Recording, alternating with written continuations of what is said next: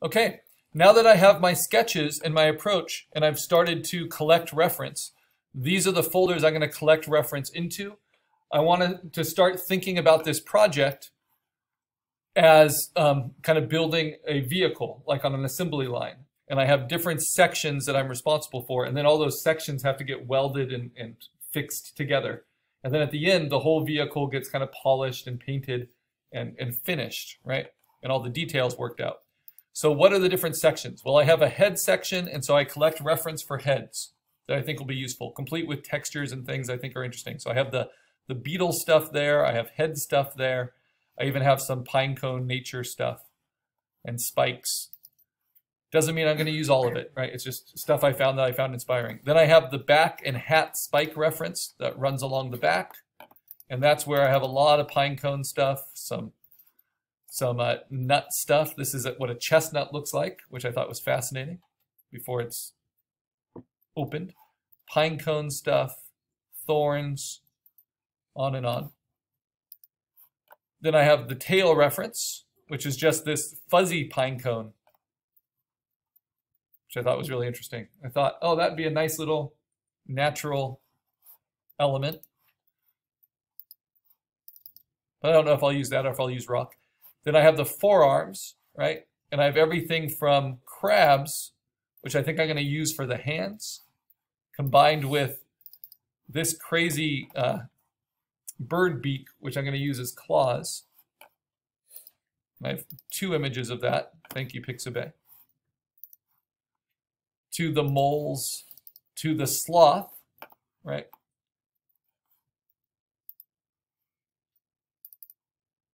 To some reference I found, because you'll just find random images while you're searching that I really liked, which was of this vulture and just this is just beautiful and so strong and in focus. Might be interesting to integrate that into maybe the shoulders. And then this is maybe the most important reference, the thing that shows how the collarbone connects with the forearms, right? Just the anatomy of the chest. And then I can build up on that chest, maybe with the vulture feathers or something else. So that's, that's a key one, showing the actual chest anatomy at, at the angle you're going to use. Uh, this one's cool with the bear. You know, it's very strong, but it's not the right angle. It doesn't really describe the form. So that's one I know I'm going to use. And then uh, the hindquarters, so the back end, I actually found this lion cub is pretty nice and nice and sharp.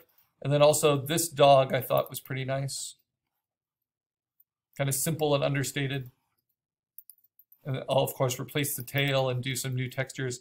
And this dog's okay, but maybe that's a little too dog-like, right? Kind of takes you out of it. And then the bears, that just changes the position too much. But this was like a really, really nicely high resolution image, but it's just not at the right angle, unfortunately but maybe there's parts of it I can use for the back or for the neck. So it's always good to have a lot of reference. Actually thinking this one's probably the strongest in terms of the angle. And I'll just swap it, you know, flip it. And then lastly, I have the obsidian. This is what's great. This is what uh, composite artists use all the time and shoot for themselves. Just reference on a blank background. Makes it really easy to even with the strong cast shadow, makes it really easy to select and use as a texturing element. But then I also found this, you know, big kind of natural rock of obsidian. This is a good kind of overall texture I can use uh, to kind of finish off my creature. And then I found this. These are beetles. And I thought that'd be a really nice kind of otherworldly fantasy counterpoint to the black obsidian. So maybe I can bring that in texturally as well. So even though these aren't structural, these will be kind of the, the pinstriping, the detailing on top of the, the creature at the end. But I want to worry about the, the structural stuff first. And then a pine cone I found, which, which is just gorgeous. I wanted to use this for its color and for its reflective qualities for the forearms. And so you'll just get little ideas like that as you're looking for reference. Okay, So now I've got my reference, at least enough to get started, way more than I need. I've got my sketch. So how do I get started? Well, I organize all my reference into my folders. I try to be very organized about it. I can go back to PhotoBucket if I need something else, or to, sorry, to Pixabay. Uh, right now, I'm going to clean up my sketch a little bit and save it. So I'll get rid of my sketchy spine here.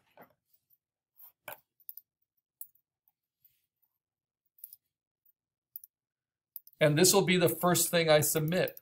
So because uh, meeting deadlines is so important in professional practice, I'm going to go ahead and flatten my image and then clean this up a little bit.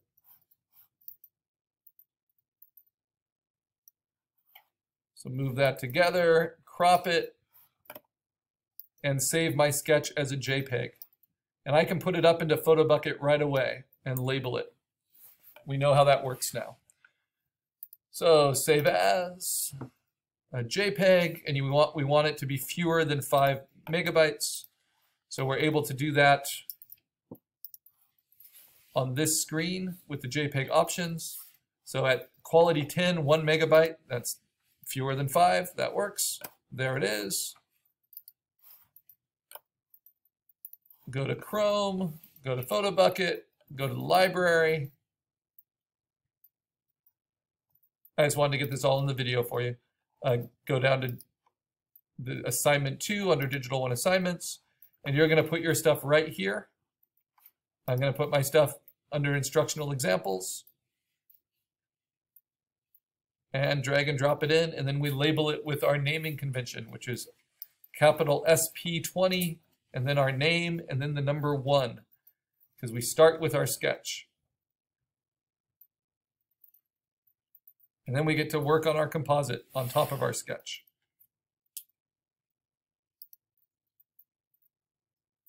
There it is.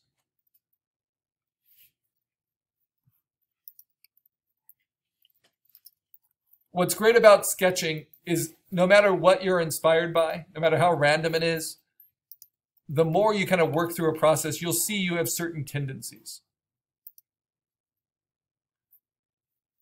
And so it's it's good to start recognizing kind of what processes work for you, what's most valuable. And so that's why we'll always include some process work in our assignments. Okay, so going back to our project here. Now we're going to use that sketch. And once we've saved it and maybe even uploaded it to PhotoBucket with all its different components, now I want to crop down to just the creature. Because the project is to show the creature head to toe.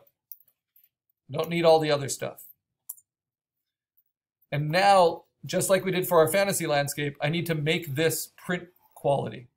Whether it's a screen grab, or not. So I go to image size once I've cropped down to around my creature and I want to make this larger than 11 by 14 inches. So I have resample checked. So I'm going to make the height 11. I'm going to make the width 14. There we go. So this is larger than 11 by 14 and then I want the resolution to be 350. And it's going to make it blurrier, but it's fine. It's just my blueprint.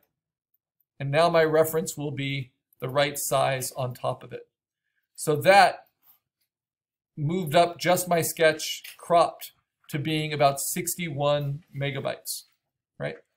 Now I can start bringing in reference. So let's see, what's the one I know I want? It's this one, the forearms, this part here. So I drag and drop that in. Notice it's already about the right size, right? And so I can hit return, and then I can rasterize it but I'll, I'll do a better thing, just like we did with the landscape. I'm going to grab more of it than I need, you know, a rough cut, because I really just want the chest. And then I'm going to duplicate it, Command J, and that automatically rasterizes it. And then I can delete. Now here's the problem. I've got this. I'm going to turn auto select layer on for my move tool. I know it needs to go there.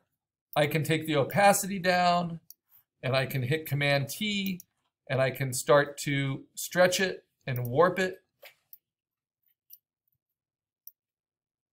to get the elbows where I want it on my sketch, to get the shoulders where I want it.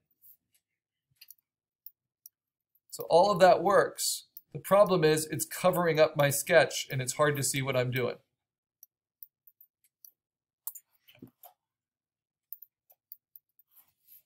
Right? And I notice, oh, that's not quite the right angle. So instead of trying to do it all on top of your sketch, once you have it at, uh, at larger than 11 by 14 at 350 pixels per inch, then I want to grow the canvas size around so I have some working space, just like we did with our landscapes. So now I go to image canvas size and I grow it to be 30 inches, or actually 40 inches wide by 30 inches tall with a gray background. And now I can move that reference. And if I need to, I can duplicate it and then flip it horizontally and kind of see what's going to need to happen, right? And it's really just that part of the chest I need.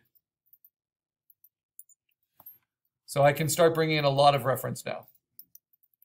So are we just using pictures? We can't fix it in any way? So we, just like with the landscape, we can adjust the lighting, we can adjust the color, we can layer things on top of each other and, and take away with soft edge brushes, but we cannot paint or draw anything. So we have to manipulate found pixels. That's compositing instead of creating our own original pixels. All right, so the focal point of a character is usually the head. So I'm going to uh, bring in some reference that I think is very helpful for the head, like this rhinoceros beetle's like horn shield there is very nice. And then I can just do a rough cut, right? Even though this isn't a vertebrate creature, it gives me a lot to work with. I want to have enough overlap. Duplicate it, then delete. Uh, in terms of the head itself, I think this one is pretty sympathetic, this armadillo. I'm going to flip it and then angle it down. Right, notice it's already about the right size. And then I want to get a lot of overlap right, before I duplicate it and then delete the smart layer because we're going to have a lot of references. I'm just deleting the, the smart objects right away. So the first component I'll put together is the head. And then there's this great vulture, which I think is going to cover up a lot of the neck and chest. I'm going to flip that horizontal, do a rough cut around it just to rasterize it.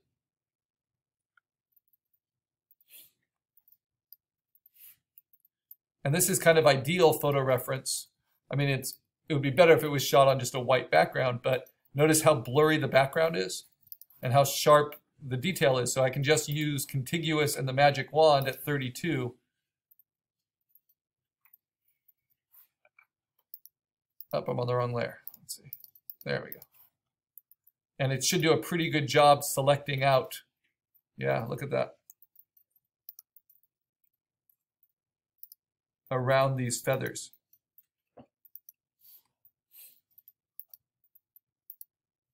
Just holding down shift, adding to it. Oh, it's so nice when this is easy.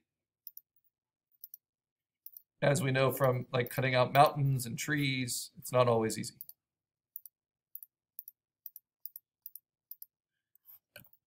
Then I can use my lasso and extend it. I'm just showing you what's to come in a little bit.